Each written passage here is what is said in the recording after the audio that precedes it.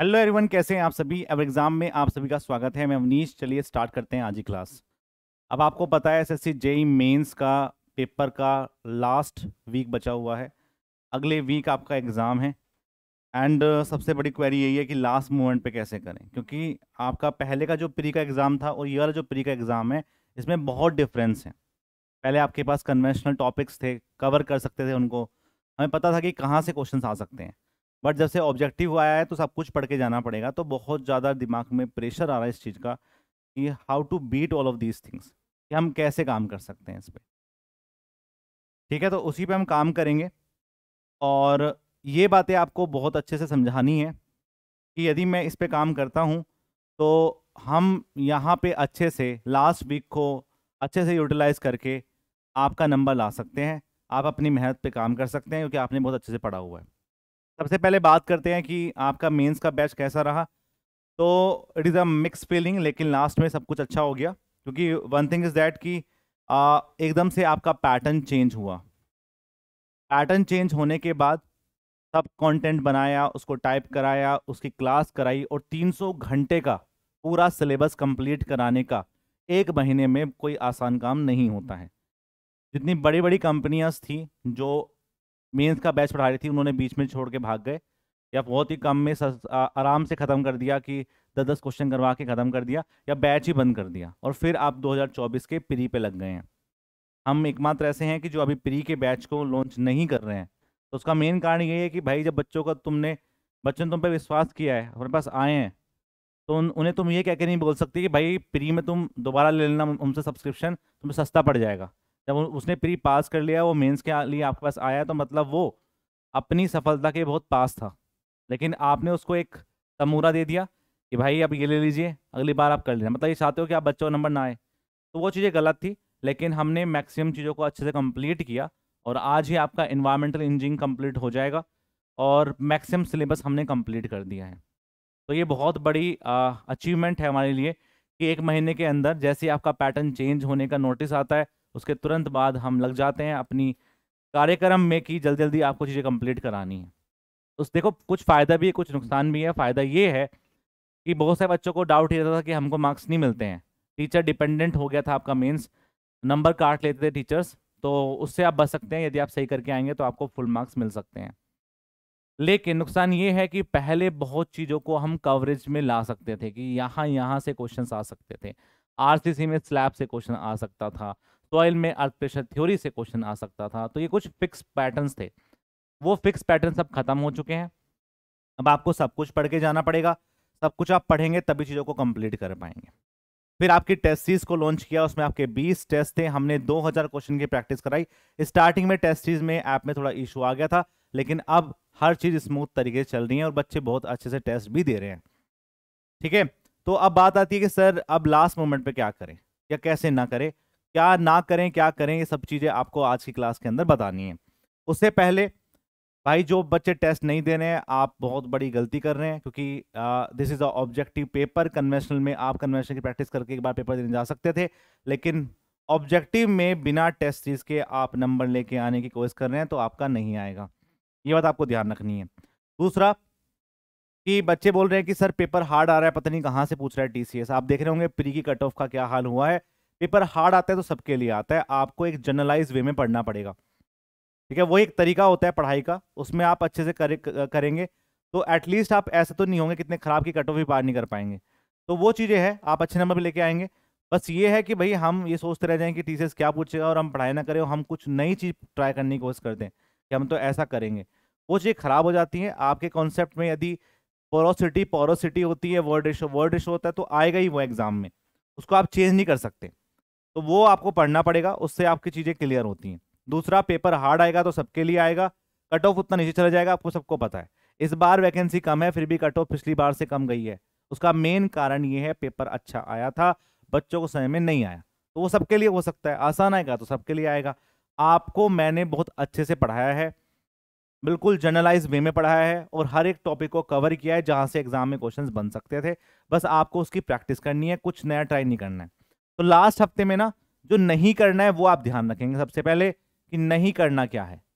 नहीं करना है कि भाई, जिन टॉपिक्स पे आपने अब तक हाथ नहीं लगाया है, अब आप उस पर हाथ नहीं लगाएँगे।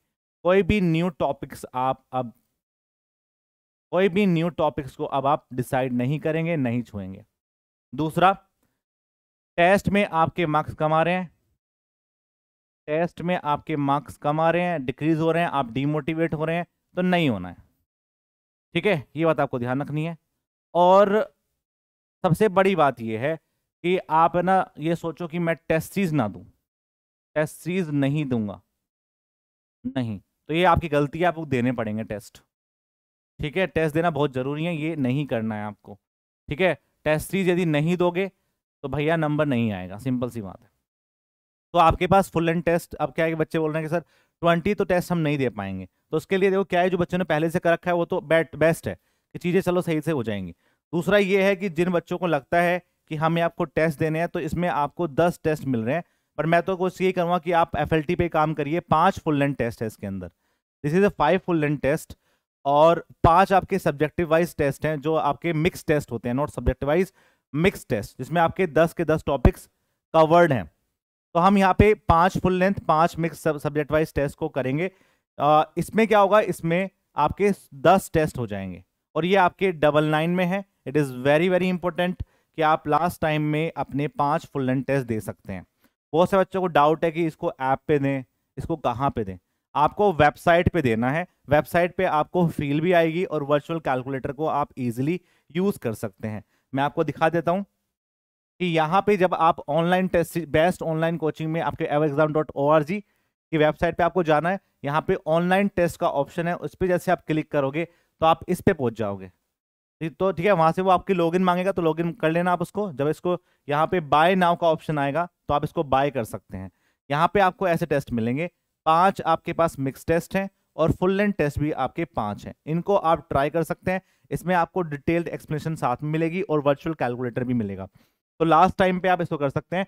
आपको कहीं नहीं जाना ऐप पे नहीं जाना, आपको किसी वेबसाइट पे नहीं जाना, सीधा ever exam dot O R G की वेबसाइट पे क्लिक करके ऊपर ऑनलाइन टेस्ट बहुत सारे बच्चे यहाँ से लॉगिन कर रहे हैं।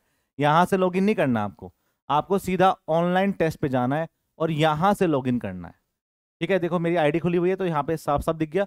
यहीं पे आपकी खुल जाएगी। दिस इज़ द क्राइटेरिया इस पर आप काम कर सकते हैं और अपने टेस्ट दे सकते हैं। तो मैं चाहूँगा कि आप जो बच्चों ने अभी तक टेस्ट नहीं दिए हैं परचेज नहीं करे हैं या उनको लगता है कि हम नहीं करेंगे तो लास्ट मोमेंट पे आप अपने पाँच फुल लेंथ टेस्ट भी दे सकते हैं। कोशिश करूँगा कि मैं आपको इसकी पीडीएफ भी दूँ उसके लिए क्राइटेरिया है वो आपको मैं बता दूँगा लेकिन अभी के लिए आ, आपको सिर्फ़ इसे इतना ही बात बताई गई है। बात करते हैं कि सर कौन कौन से टॉपिक्स पे ज़्यादा फोकस करें? लास्ट मोमेंट पे कैसे फोकस करें? क्या करें क्या ना करें? वो आपको एक बार देख लेते हैं। भाई जैसे मैंने प्री का टेस्ट पेपर देखा आपका एस एस का तो उसमें आपके ये सब सब्जेक्ट्स हैं। मेनली जो आपके पास टॉपिक्स हैं, उनको मैंने ऐसे कवर कर लिया है। जैसे प्री में सबसे ज़्यादा जो क्वेश्चन आए हैं, वो इन वाले टॉपिक से ज़्यादा आए हैं। इन वाले टॉपिक से क्वेश्चन कम आए हैं, इन वाले टॉपिक से क्वेश्चन ज़्यादा आए हैं। जैसे सर्वेइंग बहुत बड़ा टॉपिक है, बहुत अच्छे लेवल के क्वेश्चन आते हैं। एस्टिमेशन से आ रहे हैं। इरिगेशन हाइड्रोलॉजी दोनों मिला के बराबर आ रहा है आजकल। जितना आपका इरिगेशन आ रहा है, उतना ही आपका हाइड्रोलॉजी भी आ रहा है। इन्वायरमेंटल इंजीनियरिंग से क्वेश्चन आ रहे हैं, जो सॉलिड वेस्ट मैनेजमेंट से वो क्वेश्चन बना रहे हैं। सोयल प्लस आरसीसी और बीएमसी यदि पहली बात तो ये है कि भैया आपको सब कुछ कवर करना था, यदि आप नहीं कर पाए तो एटलीस्ट इन वाले टॉपिक्स को पहले कवर करें। इन वाले टॉपिक्स को पहले कवर करें, उसके बाद यदि कवर कर लिया तो फिर इसको कवर करें। यदि आप एफ़ एम सोम स्टिल लेके बैठ जाएँगे और आपसे, आपने पहले एच को नहीं पढ़ा है तो इसके क्वेश्चंस आपके लास्ट मोमेंट पे नहीं लगेंगे और आपका डीमोटिवेशन होना या डीमोटिवेशन आपको आएगा ही आएगा इस चीज़ का। तो इसलिए उनको चीज़ को नंबर ट्राई करो जो आपका स्ट्रॉन्ग पॉइंट है, उस पर ज़्यादा काम करिए। लास्ट में तो ज़्यादा आपको अच्छे से रिज़ल्ट मिलेंगे। ठीक है? अब मैं बात कर लेता हूँ कि सर्विंग में से कौन कौन से टॉपिक से एग्ज़ाम में क्वेश्चन बनते हैं। इसका एक बार डिटेल्ड एनालिसिस कर देते हैं। ठीक है कि सर्विंग से कौन कौन से टॉपिक से क्वेश्चन बन सकते हैं। देखो क्वेश्चन जो आते हैं वो कंपास के तो आएगा ही आएगा। कंपास से आ सकता है लेवलिंग से आ सकता है इंस्ट्रूमेंट से आ सकता है कि आपके जो परमानेंट एडजस्टमेंट होते हैं वो क्या होते हैं। टैकोमीटर से आ सकता है। टैकोमेट्री ठीक है? और आपके किससे आएगा? प्लेन टेबल सर्वे से क्वेश्चन आ सकते हैं। कॉन्ट्यूर से बहुत क्वेश्चन बन रहे हैं आपसे। प्लेन टेबल सर्वे और कॉन्ट्यूर से बहुत क्वेश्चन बन रहे हैं। तो ये टॉपिक्स आपको कवर करने पड़ेंगे। जो आपके पास फंडामेंटल ऑफ़ सर्विंग या लीनियर मेज़रमेंट हम बोल सकते हैं लीनियर मेज़रमेंट इन वाले टॉपिक्स को आपको अच्छे से कवर करना है। यहाँ से आपके एग्ज़ाम में क्वेश्चंस बनते ही बनते हैं। ठीक है? कुछ टॉपिक मैंने छोड़ दिया, लेकिन एटलीस्ट आपको इन टॉपिक्स पे ज़्यादा कवरेज करना चाहिए एज पर द पैटर्न जो आजकल चल रहा है, आ रहा है एग्ज़ाम में। ठीक है? और एस्टिमेशन देखो, सब कुछ पढ़ना पड़ेगा एस्टिमेशन में। एस्टिमेशन में मैं आपको एस्टिमेट सकता कि यहाँ से आएगा क्वेश्चन कैलकुलेशन है, सब कुछ पढ़ना पड़ेगा तो उसमें मैं कुछ ज़्यादा आपको बता नहीं सकता। बात करते हैं इरीगेशन यदि आप इरीगेशन हार्डोलॉजी की बात करेंगे इरीगेशन प्लस हार्डोलॉजी तो वहाँ से जो क्वेश्चंस बनते हैं, वो ड्यूटी एंड डेल्टा से बनता है। ड्यूटी एंड डेल्टा से बनता है क्वेश्चन फिर आपके कैनाल डिज़ाइन से क्वेश्चन बनेंगे, पूरा पढ़ना है आपको कैनाल डिज़ाइन। फिर आपके पास जो कैनाल हेडवर्क्स है, कैनाल हेडवर्क्स हेडवर्क्स है डाइवर्जन्स है, कैनाल ड्रेनेज है, ड्रेनेज वाला पार्ट है, इन सबसे आपके एग्ज़ाम में क्वेश्चंस बनते हैं। फोर्थ पार्ट रिवर ट्रेनिंग से क्वेश्चन बन सकता है, रिवर ट्रेनिंग वाला पार्ट। तो ये आपके क्वेश्चंस हैं जो एग्ज़ाम में बनते हैं। इन सबको आप अच्छे से करिए। यदि एटलीस्ट कुछ नहीं कर पाए हैं तो लास्ट मोमेंट पे इन पे ज़्यादा फोकस करिए। एग्ज़ाम में क्वेश्चंस आपके इस वाले टॉपिक सबसे ज़्यादा बन रहे हैं। Canal headworks diversion canal drainage इन सबसे बहुत क्वेश्चन बनेंगे। ठीक है हेडवर्क से क्वेश्चन बनते हैं। Silt excluder silt ejectors drop canal drop क्या होते हैं, ये सब क्वेश्चन आपके एग्ज़ाम में बन सकते हैं। बात करते हैं हाइड्रोलॉजी वाला पार्ट हाइड्रोलॉजी हाइड्रोलॉजी में सबसे पहले आप अपने हाइड्रोग्राफ को करिए। हाइड्रोग्राफ पे काम कर सकते हैं। आपको फाई निकालना आता हो, आपको डब्लू निकालना आता हो, आपको डेल्टा एस निकालना आता हो, आपको डिफरेंट टाइप की इक्वेशंस पता हो। कौन कौन सी इक्वेशंस पे हम काम करते हैं? आपको return period one upon P या probability cost one upon return period इस पे काम होना चाहिए कि जो अकरेंस है अक्रेंस है वो क्या है? पीएमएफ पता हो आपको? आपको एसएमएफ पता हो? आपको फ्लड राउटिंग पता हो? फ्लड राउटिंग कंडीशंस कौन सी होती हैं? ये सारी बातें आपको पता होनी चाहिए। यहाँ से आपके एग्ज़ाम में क्वेश्चंस बनते हैं।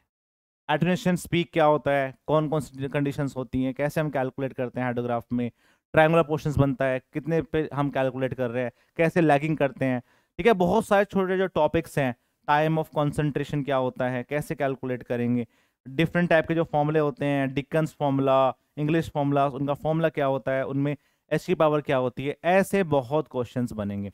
इसमें एक टॉपिक और निकालेंगे इसमें स्पिलवे स्पिलवे जितने भी आप यूज़ करते हैं ब्रॉड क्रिस्टेड वाला वियर जो यूज़ करते हैं, उनकी डिस्चार्ज की इक्वेशंस आपको पता होनी चाहिए। ठीक है? फिर हम बात करते हैं इन्वायरमेंटल इंजिनियरिंग के बारे में। इन्वायरमेंटल इंजिनियरिंग इन्वायरमेंटल इंजीनियरिंग यदि आप इन्वायरमेंटल इंजीनियरिंग की बात करेंगे तो देखो दो पार्ट में बटा हुआ है ये। एक तो हम बोलेंगे कि वाटर वाला वाटर वाला वेस्ट वाला।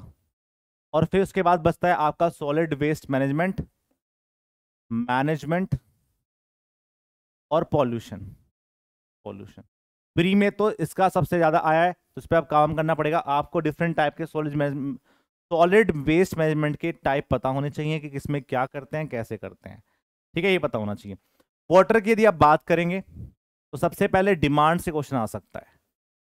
डिमांड से क्वेश्चन आ सकता है, क्वालिटी पैरामीटर से क्वेश्चन आ सकता है, ठीक है? और rapid sand filter, slow sand filter, इनसे क्वेश्चन आ सकता है। सेडिमेंटेशन टैंक से क्वेश्चन आ सकता है, ठीक है? डिमांड ऑफ़ क्लोरीन निकालने को आ सकता है, क्लोरीन। और डिफरेंट टाइप के जो फॉर्मूले हैं कि भैया कौन सा कहाँ पे यूज़ करते हैं, कैसे यूज़ करते हैं, ये सब आपको पता होना चाहिए। वेस्ट वाटर में सीवेज ट्रीटमेंट से क्वेश्चन आएगा। सीवेज ट्रीटमेंट और दूसरा दूसरा होता है सीवर डिज़ाइन सीवर डिज़ाइन यहाँ से आपके एग्ज़ाम में क्वेश्चन बनता है। जिसमें हम साथ में भी कैलकुलेट करेंगे बीओडी की वैल्यू सीओडी की वैल्यू टीएचओडी की वैल्यू ये सारी वैल्यूज़ आपको कैलकुलेट करनी आती हूँ। सॉलिड वेस्ट मैनेजमेंट में आपको टाइप्स पता हूँ। कौन कौन से टाइप्स होते हैं? कौन सा कहाँ पे यूज़ करते हैं वो सब आपको पता होना चाहिए। पॉल्यूशंस में एयर पॉल्यूशन आपके लिए ज़्यादा इंपॉर्टेंट है। इसमें हम डिफरेंट टाइप की वैल्यूज़ कैलकुलेट करते हैं कि इन्वायरमेंटल लैब्स रेट यदि आपका आ, हम बोल देते हैं एडमिट लैब्स रेट से ज़्यादा है तो क्या होगा? प्लूम का बिहेवियर कैसा है? प्लूम का बिहेवियर कैसा है? इन सब पे काम करते हैं और आपके आई कोड के रिकमेंडेशंस के कहाँ कहाँ पे नॉइस पोल्यूशन में कितनी कितनी वैल्यू पे काम करते हैं। वो सारे क्वेश्चन आपके एग्ज़ाम में इस वाले टॉपिक से बन सकते हैं। ठीक है भाइयों? चलिए बात करते हैं सॉइल की। अब देखो क्या है, प्री में आपका सॉइल का वेटेज कम था, लेकिन मेंस में बढ़ सकता है सॉइल में। सबसे ज़्यादा जो क्वेश्चंस बनते हैं, वो आपके शेलो फाउंडेशन से बनेंगे। Foundation number two, earth pressure theory.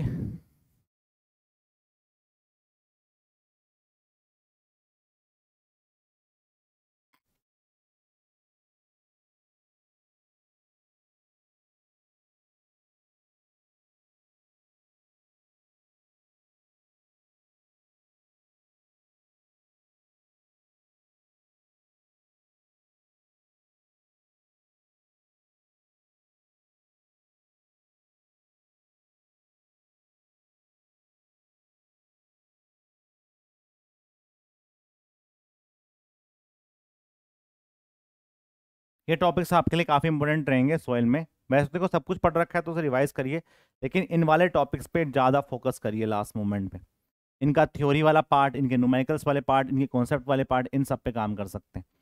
यदि मैं आरसीसी की बात करूँ तो I S four five six आपको अच्छे से आता हूँ।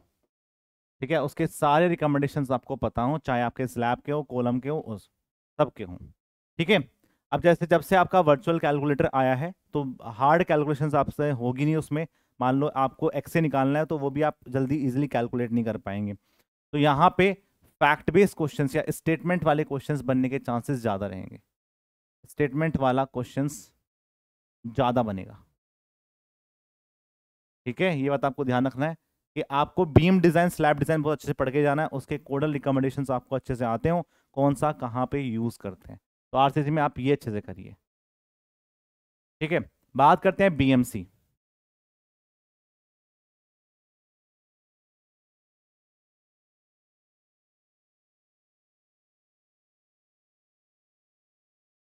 अब बात करते हैं बीएमसी यदि हम बिल्डिंग मटेरियल की बात करते हैं तो बिल्डिंग मटेरियल में वैसे तो सब कुछ इंपॉर्टेंट है, लेकिन जो दो चीज़ें हैं वो काफ़ी इंपॉर्टेंट हैं। दूसरा है पहला है कॉन्क्रीट टेक्नोलॉजी टेक्नोलॉजी वाला पार्ट बहुत अच्छे से आता हूँ आपको। दूसरा पेंट और पेंट में भी आपके डिफेक्ट्स वाले पार्ट ये काफ़ी इंपॉर्टेंट है। क्योंकि देखो सीमेंट सब पढ़ के जाएँगे टिम्बर सब पढ़ के जाएँगे ब्रिक सब पढ़ के जाएँगे, लेकिन ये जो लास्ट वाले टॉपिक्स इनको कोई पढ़ के नहीं जाता तो इन पर अच्छे से काम करिए। ठीक है, ज़्यादा से ज़्यादा क्वेश्चन प्रैक्टिस करिए, और पढ़िए कि क्या क्या आ सकता है इसमें कैसे कैसे आ सकता है, कौन से एग्रीगेट कहाँ पे यूज़ करते हैं। इसमें एग्रीगेट का बहुत बड़ा रोल है। एग्रीगेट का। एग्रीगेट्स का बहुत बड़ा रोल है, इस पर आप ढंग से काम करेंगे तो चीज़ें आसान तरीके से हो जाएँगी। ठीक है? ये थे आपके मेन टॉपिक्स जिन पे मैं आपको बता रहा था कि आपको काम करना चाहिए। ठीक है? अब मान लो एफ़ एम है सोम है स्टील है। ये ये टॉपिक है स्ट्रक्चर वाला पार्ट है। मैं तो बोलता हूँ कि यदि आपको लास्ट में लगता है कि भाई आपको इनमें कॉन्फिडेंस नहीं आ रहा है सोम में नहीं आ रहा है स्टील में नहीं आ रहा है एफएम में नहीं आ रहा तो आपको एटलीस्ट सारे फॉर्मूले रिवाइज होने चाहिए, सारे कॉन्सेप्ट पता होने चाहिए। कॉन्सेप्ट पता होने चाहिए। इस पर आप काम करिए तो चीज़ें आपको आसान तरीके से रहेंगी आपको कॉन्फिडेंस भी आएगा। ठीक है? अब बात आती है, सर, क्या करें इस लास्ट में? देखो चीज़ मैं आपको बता रहा हूँ कि जो बच्चे हमसे पढ़ रहे हैं, उनके बता रहा हूँ मैं पहले, आपको क्लासरूम का पीडीएफ लीजिए। सारे क्वेश्चंस को एक बार देखिए कि क्या क्या किया है, सर ने कैसे कैसे किया है। इसमें आपको डाउट लगता है, पूछ लीजिए। अपने दोस्त से डिस्कस करिए, कैसे क्या है इसमें, कैसे किया है, उस पर आप काम करिए। दूसरा, आपके पास या तो शॉर्ट नोट्स हो। या तो आपके पास शॉर्ट नोट्स हो, या फिर आपके पास या फिर आपके पास कोई आ, बुकलेट हो फॉर्मूला रिवीजन की बुक हो। फॉर्मूला फॉर्मूला रिवीजन का बुक हो उसमें आप साथ में ऐड करिए अपने टेस्ट सीरीज़ को। और बार बार आपको यही रिवाइज करना है। You have to revise all of these things again and again कुछ नया ट्राई करने से अच्छा है कि आप इसी को बार बार रिवाइज करें। Classroom PDF short notes and test series again and again again and again इसी बार काम करेंगे तो कॉन्फिडेंस भी आएगा और नंबर भी अच्छे आएँगे। ठीक है, क्योंकि तो क्या होता है कि हम फ़र्स्ट बार में कोई चीज़ को पढ़ते हैं तो हमें समझ में नहीं आती। लेकिन हम बार बार उसको रिवाइज करते हैं तो ये चीज़ें आपके पास अच्छे से हो जाएँगी। ठीक है, कोई नहीं जानता कि पेपर का कट ऑफ़ क्या जाएगा। कोई नहीं जानता कि कितना नंबर सेफ़ रहेगा, क्योंकि फ़र्स्ट टाइम हो रहा है पेपर का पता नहीं है कैसा आ सकता है तो इसलिए उसके पीछे मत लगो। कुछ बच्चे बहुत अच्छे नंबर मार रहे हैं टेस्ट में two eighty five to ninety तो उनसे आप परेशान मत होइए, आप अपने आप को देखिए। ठीक है, क्योंकि आ, मैं बस यही बोलूँगा कि प्री में भी बच्चे बहुत अच्छे नंबर मार रहे थे ठीक है लेकिन कोई भी बच्चा 140 150 से ऊपर नहीं ला पाया है प्री में भी। तो जब फैक्ट बेस्ड क्वेश्चन ज़्यादा आते हैं तो बहुत अच्छे नंबर लाने आसान नहीं होता है। मैं फिर भी ये बोलता हूँ कि यदि आप सौ में से अस्सी नंबर लेके आ रहे हैं अपने टेक्निकल में तो बहुत अच्छे नंबर हैं बहुत ही अच्छे नंबर हैं ठीक है? इससे ज़्यादा की तो आप उम्मीद ही मत करिए कि आप इससे अच्छे नंबर आप मेंस के पेपर में ले आएँगे जहाँ पे नुमाइकल पोर्शंस भी आने के चांसेस बहुत ज़्यादा रहते हैं ठीक है? तो हम करेंगे इस पे काम और मैं आपको लास्ट में बस इतना ही कह सकता हूँ कि जितने टेस्ट आपके हुए हैं, उनका सॉल्यूशंस मैं कराने की कोशिश करूँगा आपके यूट्यूब चैनल पे। और धन्यवाद आप सबने हमारा साथ दिया और अच्छे से आपका मेंस का बैच कंप्लीट कराया। बस आपका अब यही रहेगा। धन्यवाद धन्यवाद धन्यवाद कि अच्छे से आप नंबर लेके आओ, अपनी प्रैक्टिस करो, बहुत अच्छे से हमने इसको पढ़ाया। बार बार अगेन एंड अगेन अगेन इसको रिवाइज करो। जितना रिवाइज करोगे, चीज़ें उतनी अच्छी तरीके से आपके फेवर में जाएगी। कोई भी आपके पास कमेंट है, यदि कोई भी आपको लग रहा है लास्ट टाइम पे कि ये दिक्कत मेरे साथ आ रही है और मैं उसको डिस्कस नहीं कर पाया क्लास के अंदर तो आप बता सकते हैं कमेंट सेक्शन के अंदर लिख सकते हैं, उस पर हम जल्दी आपके पास बातों को सुना जाएगा और उस पर जल्दी आप वीडियो बना दूँगा मैं कि कैसे काम कर सकते हैं, ठीक है? मिलेंगे शाम को आज टेलीग्राम चैनल पे थोड़ा सा बात करेंगे, क्योंकि लास्ट में भाई थोड़ा सा सपोर्ट तो चाहिए होता है कि हम डिमोटिवेट रहेंगे, रोज़ाना रहेंगे। लगेगा कि आपको सब कुछ याद है बट कुछ सब कुछ भूल रहे हैं नंबर नहीं आ रहे टेस्ट में दोस्त के अच्छे आ रहे हैं, सब कुछ आपके पास, हर चीज़ का डैली में आपको झेलना पड़ेगा लास्ट में। लेकिन वन थिंग इज़ दैट कि अपने ऊपर विश्वास रखिए, बहुत बड़ी चीज़ होती है और आप बोलिए कि हम अच्छा कर सकते हैं। टेस्ट में नंबर कम आ रहे हैं तो जहाँ कम आ रहा है, उसको मैं चेक करूँगा कि कहाँ गलत आ रही है। कहाँ गलती आ रही है। ठीक है? मिलिए फिर, मिलते हैं आपके पास नेक्स्ट क्लास के अंदर। तब तक के लिए बाय जय हिंद, जय भारत। फोड़ के आना है पेपर इस बार, ठीक है? आप अवनीश शर्मा शो से जुड़े हुए हैं, आप एग्ज़ाम से जुड़े हुए हैं, यहाँ के बच्चे फोड़ के आते हैं पेपर तो ये वाला बैच भी फोड़ के आना चाहिए, पेपर बस इतना ध्यान रखना। Bye bye